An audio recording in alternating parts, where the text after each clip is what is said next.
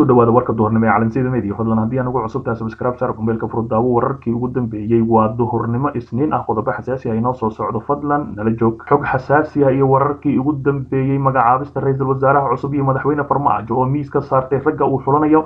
laba siyaasi oo isugu soo haray xilka ra'iisul wasaaraha cusub farmaajo oo kala xulanaya. Madaxweynaha soomaaliya maxamed cabdilaahi farmaajo ayaa weli wada kulamadii la tashiyada ahaa ee ku aadanaa magacaabista ra'iisul wasaaraha cusub ee soomaaliya islamarkaasina malaayiin soomaaliya ah ay dhegta kor u taagayaan islamarkaasina ay sugayaan qofka la soo magacaabaya xilkani oo ay raadinayaan shakhsiyaad badan ayaa hadda waxaa isku soo haray. Dhowr qof oo aada loo hadalhayo waxaana ka mid ahay waxaana hadda ugu cadcad dadkaasi xildhibaan cabdiqaadir cosoble iyo cabdiraxmaan yabarow oo ah madaxa laanta afka soomaaliga ee v o eda dalkaas maraykanka ilo ku dhow madaxtooyada soomaaliya ayaa inoo sheegay in liiska haatan uu madaxweyne farmaajo gacanta ku hayo ay ugu horeeyaan master yabarow oo ay gadaal ka riixayaan xubno siyaasiyiin iyo miisaan culus ku dhex leh siyaasadda dalka sidoo kale xildhibaan cabdiqaadir cosoble oo ay isku raaceen in xilkaasi loo dhiibo waxgaradka iyo xildhibaano labada aqal ee baarlamaanka soomaaliya islamarkaasina taageero weyn ka helaya beesha mudulood ayaa asigana sulduub ugu jiro.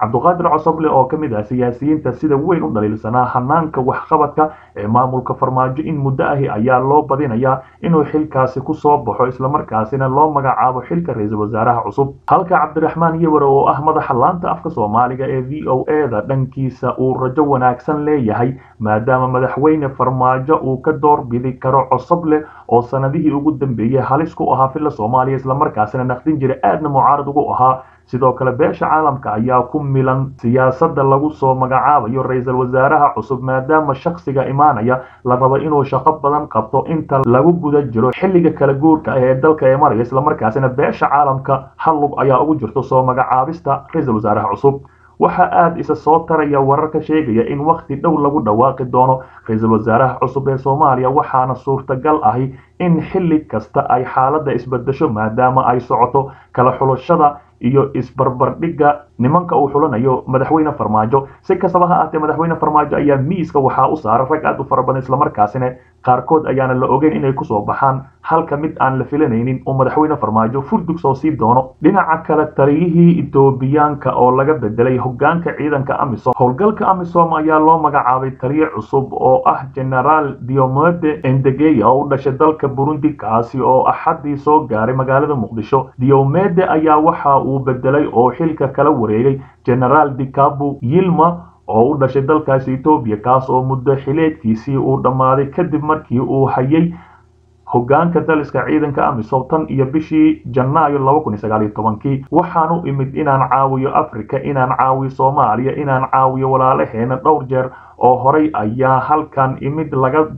soo bilaabo laba kun iyo toddobadii ilaa laba kun iyo laba iyo tobankii ayuu yidhi genaraal diomede oo hadlay kadib markii uu ka soo degay garoonka diyaaradaha eedancadda magaalada muqdisho. Ninkani cusub oo ah konton iyo toddoba jir ayaa horey uga shaqeeyay soomaaliya intii u dhexaysay laba kun iyo toddobadii ilaa laba kun iyo sagaalkii isagoo xubin ka ahaa ciidamada burundi ee qaybta ka ah howlgallada soomaaliya. Ka hor inta aan loo magacaabin taliyaha cusub ee amisom genaraal diomede waxa uu la taliye ka ahaa wasaaradda gaashaandhigga ee burundi isaga oo qaabilsanaa dhanka arrimaha siyaasadda iyo diblomaasiyadda. Waxa uu shahaado masterka ku haystaa farsamada sayniska wuxuuna tababaro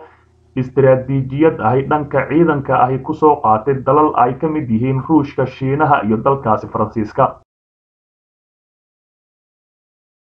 Madaxdii hore ee dalka xasan sheekh maxamuud sheekh shariif sheekh axmed oo dowladda federaalk soomaaliya digniin xooggan u diray islamarkaasina soo saaray amar ku aadan madaxweyne farmaajo inuusan ku tumanin dastuurka dalka u yaalla hase ahaatee wasiirada ama xukuumadda federaalk soomaaliya ee gebi ahaantoodba dhacay in ay sharciga ku sii tumanin ay joojiyaan waxyaabaha ay wadaan maadaama sharciyo badan ay soo saarayaan. War-saxaafeed ka baxay madasha xisbiyada qaran ayaa digniin loogu diray madaxweyne farmaajo kadib go'aanadii ay golaha wasiirada soomaaliya ku ansixiyeen dhismaha hay'adda batroolka iyo xubno cusub oo lagu biiriyey golaha adeega garsoorka islamarkaasina xiisad xooggan ka dhex abuurtay dowladda iyo mucaaradka. Qoraalka ka soo baxay madasha oo ka kooban toddoba qodob ayaa lagu yidhi madashu waxay aad uga walaacsan tahay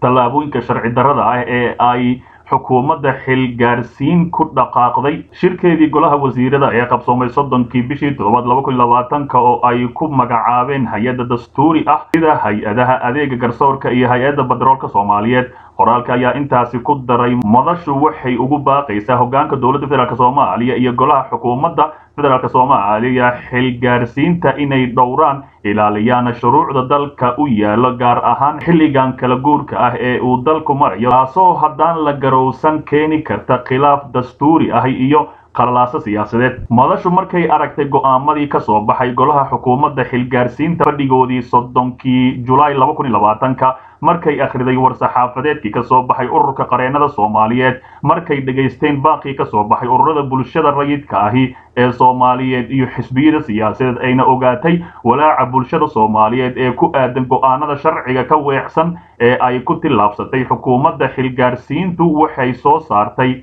Qodobada hoos ku qoran ayaa warbixinta lagu yidhi qodobka ugu horreeya madashu waxay garowsan tahay baahida loo qabo dhisidda guddiyada adeega garsoorka iyo hay'adda batroolka soomaaliyeed kuwaasoo la dhowrayo muddo ka badan saddex sano iyo bar ayna ahayd inay dhisto xukuumaddii haysatay kalsoonida baarlamaanka federaalk soomaaliya ama ay tahay in lala sugo inta la gaaro dhismo xukuumad cusub oo hesho kalsoonida baarlamaanka federaalk soomaaliya. Kadibna wax kasta ay u fasaxan tahay inay saxiixaan. Xukuumadda hadda jirta waa xukuumad xilgaarsiineed mana laha awood sharciyeed ay ku qaadan karto go'aamo masiiri ahi ama ay ku meelmarin karto guddi dastuur ahi. Oo horey magacaabistii loogu gaabiyey. Madashu waxay aad uga walaacsan tahay tallaabooyinka sharci darrada ah ee ay xukuumaddu xilgaarsiintu ku dhaqaaqday shirkeedii golaha wasiirada ee qabsoomay oo ay ku magacaabeen hay'adda dastuuri ahi sida hay'adda adeega garsoorka iyo hay'adda batroolka soomaaliyeed. Madashu waxay caddaynaysaa habraaca loo maray magacaabista shanta xubnood ee ka tirsan golaha adeega garsoorka inay baalmarsan tahay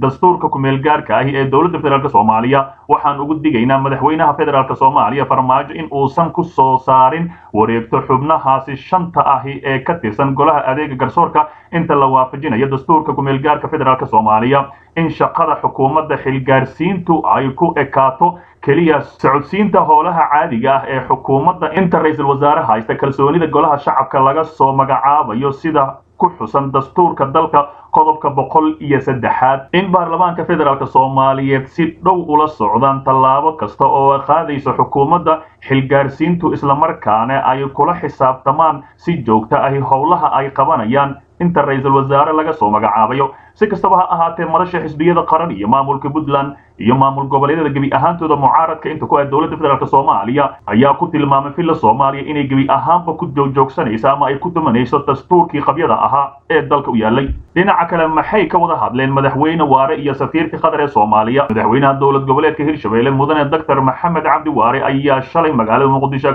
kula kulmay safiirka dowladda qatar u fadhiya soomaaliya. Kulankaas oo aad muhiim u ahaa ayaa looga hadlay dardargelinta mashaariic dhismaha waddada xiriirsa muqdisho ilaa jowhar oo ay maalgelinayso dowladda qatar iyo sidoo kale fulinta mashaariicyo kala duwan oo laga hirgelin doono deegaanada hirshabelle kulanka ayaa ku dhammaaday jawi isfaham leh iyadoo la isku afgartay dhammaan qodobadii laga wada hadlay sida uu sheegay. Afhayeenka maamulka hirshabelle madaxweynaha dowladda hirshabelle maxamed cabdi waare ayaa kulamo ka wada magaalada muqdisho isagoo doraadna la kulmay madaxweynayaashii hore ee dalka sida cali mahdi shariif sheekh axmed iyo xasan sheekh maxamuud kaasoo ahaa mid la iska warsanayay marxalada galaguurka ah ee galaya dalka xaalada siyaasadeed ee dalka uu maraya. Dhinaca kale taliyaha booliska soomaaliya oo kormeer keliisa ku tagay degmada afgooye ee biyihii harkhiyeen saraakiil ciidamada booliska soomaaliyeed ah oo horkacayo taliyaha ciidanka booliiska ayaa safar kormeer